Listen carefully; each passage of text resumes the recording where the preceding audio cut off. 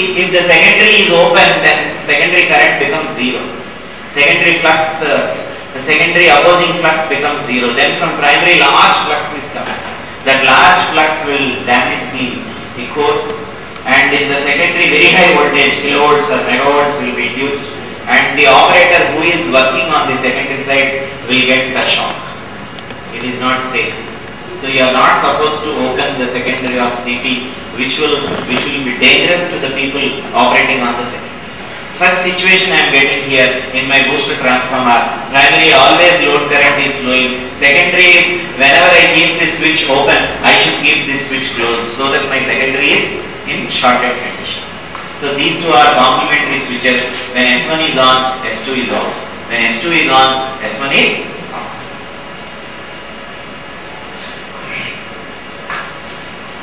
Active filters.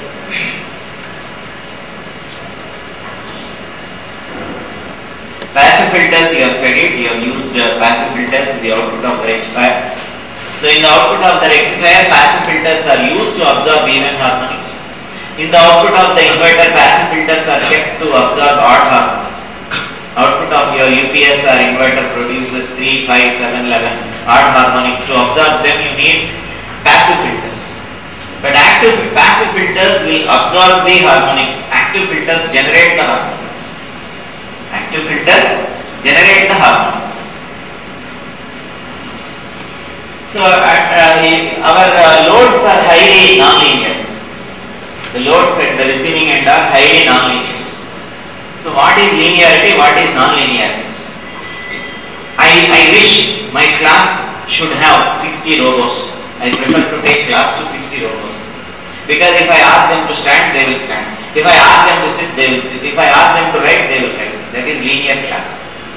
My class in the college in the afternoon is highly non-linear. Half of them are sleeping, other 25% dreaming, and uh, some of them uh, trying to write but not able to write. So nonlinearity means I am expecting something but that is not happening.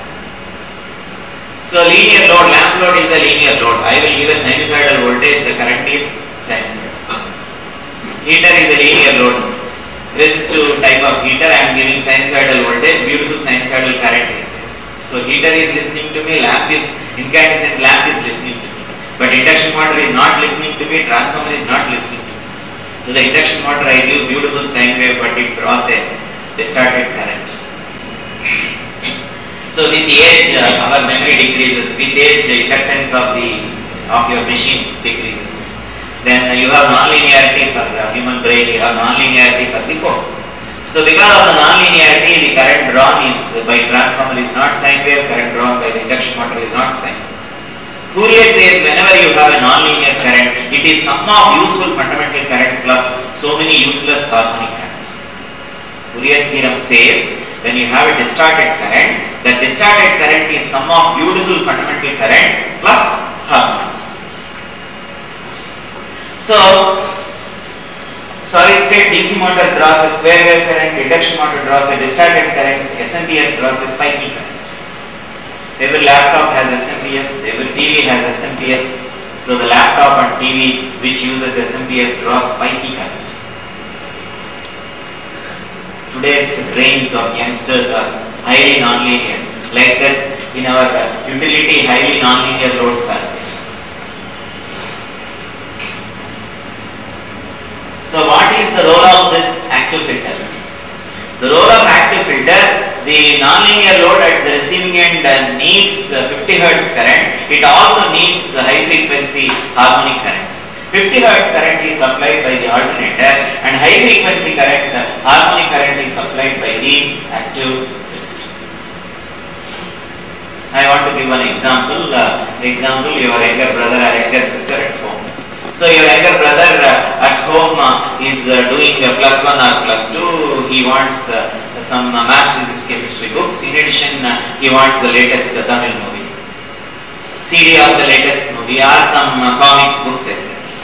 So being the elder brother, you give that uh, comics book, uh, etc. and let the father give uh, uh, maths, physics, uh, chemistry books. So father is alternator who will be giving the useful 50 Hertz current. Active filter is yourself and you will be supplying the harmonics needed. So if this is done, then the current from the sending end is reduced. Fourier triangle, you know? What is Fourier triangle telling you?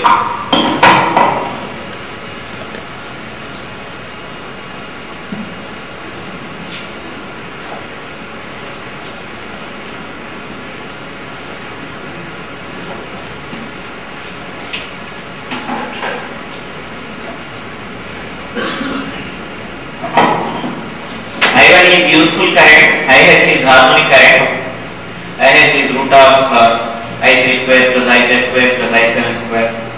So I1 is useful current, IH is harmonic current, total current uh, is uh, square root of I1 square plus IH. So your total current has useful current and useless current. That useless current is supplied by the active filter and useful current is I1 is supplied by the alternator. So that uh, the uh, the heat uh, in the alternator is reduced. Losses in the alternator are reduced because alternator is supplying less current. So this is uh, this you can clearly see. Active filter is supplying harmonics. Active filter is supplying harmonics. Alternator is supplying beautiful sine waves. So you are receiving a nonlinear load. Uh, nonlinear current will be like this. So this nonlinear current is sum of useful 50 hertz current and harmonic current, and these harmonics are supplied by the active filter. So shunt filter, shunt filter you have uh, voltage source type and you have current source type. Capacitor, uh, a charge in capacitor will act as a voltage source. Voltage source in series with a large inductor will act as a current source. Series type, uh, the voltage uh, is injected in series with the line. Shunt type, it is connected in parallel with the. So if you have both, it is hybrid filter. If you have both series and shunt filter, it is called hybrid filter. So next uh, device, DVR, dynamic voltage restorer.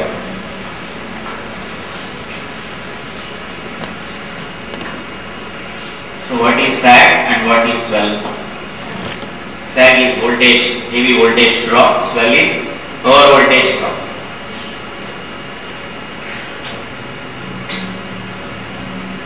So in large scale industries, you have uh, 100 to some 1000 HP motor. And the starting current drawn by the induction motor is proportional to the HP rating.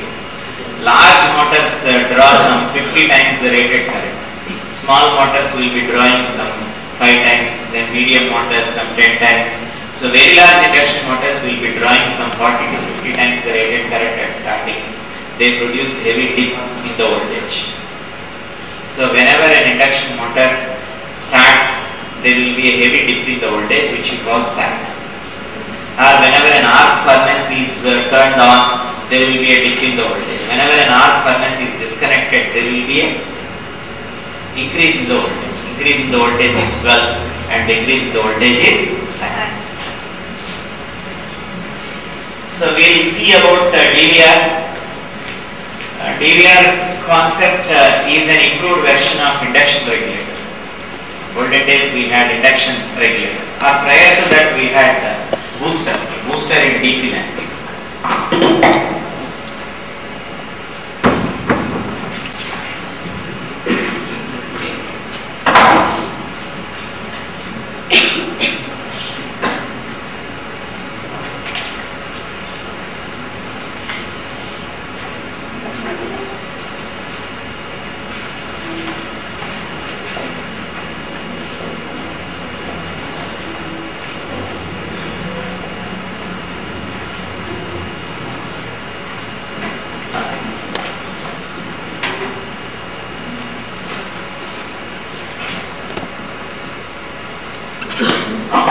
So 40 years back we had DC transmission line.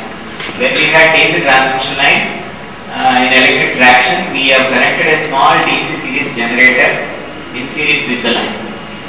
So the drop in this uh, line resistance is IR. Am injecting the voltage. These two will get cancelled. If these two are cancelled, Vs is equal to VR. If Vs is VR, the drop is zero and regulation is zero. Ideally, practically regulation will be minimum.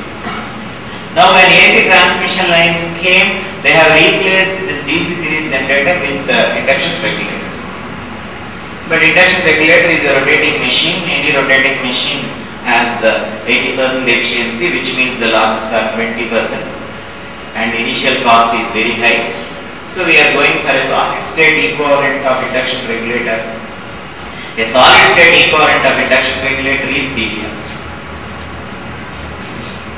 So in DVR uh, you have an inverter, some DC source, some fuel cell or uh, solar cell or a wind generator with a rectifier, some source, then inverter and then that injection transformer which injects the voltage to compensate the drop.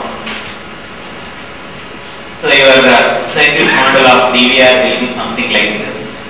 So your DVR at the sending end has generator line impedance. This is the DC source. This is the inverter. This is your injection transformer. Suppose if you are not using the DVR, close this switch. Then uh, this is the heavy load. This is the normal load. At home you have the tube light. You switch on the heater. What happens? Tube light is load 1, heater is load 2. When you switch on the heater, what do you observe? The voltage decreases. So when a heavy load is connected, the voltage decreases, which you call it as voltage sag. So you find if the second load is turned on, the voltage decreases. Originally you have some voltage, when load is turned on, the voltage decreases. Then with DVR you are injecting the voltage into the line. So here the load is on, voltage increases. At this point DVR is on. So when DVR is on, the voltage comes back to normal line. Some standard waveforms available in any paper on DVR. You take any paper on DVR, you find these waveforms.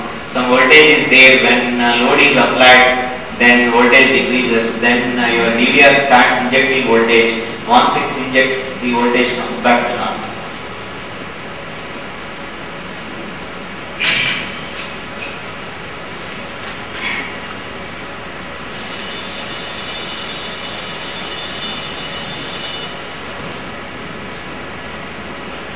So next uh, FACTS device, uh, If you are using at low voltage level, 11 kV, 6.6 kV or 400 volts, it is distribution STATCOM. If you are using at uh, 220 kV or uh, um, 400 kV, it is uh, general STATCOM. Static compensator, which is uh, solid state version of uh, solid state version of uh, synchronous condenser. So we compare this with synchronous condenser. Another uh, popular interview question, what is the difference between synchronous condenser and synchronous phase modifier?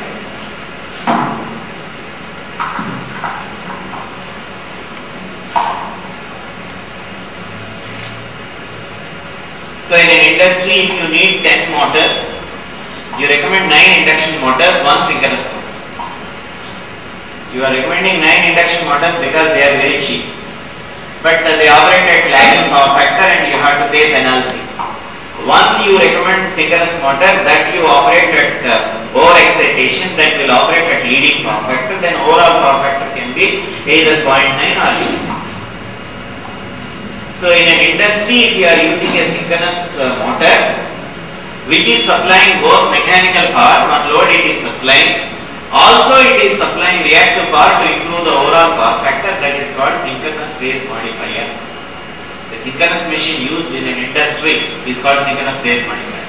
A synchronous machine used in power system merely to improve the uh, merely to improve the voltage is called synchronous capacitor or synchronous condenser. So in a substation, one machine is running 365 days, 24 hours per day, making noise and uh, um, supplying reactive power that is synchronous condenser. Because in a substation I don't have any mechanical load. I don't have to run a flour mill or rice mill in a substation. So it is just running and supplying reactive power and maintaining better voltage. Such a machine is called synchronous condenser or synchronous capacitor.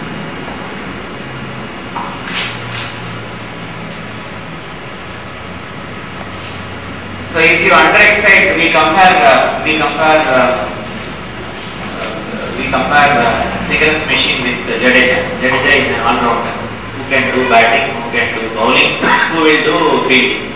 So normally excited he is doing fielding, under excited uh, he is doing uh, bowling, over excited he is doing batting. So we are more interested in over excited uh, region. So in a synchronous machine when it is over excited it operates at leading power. But we want to compare this STATCOM with uh, STATCOM with uh, synchronous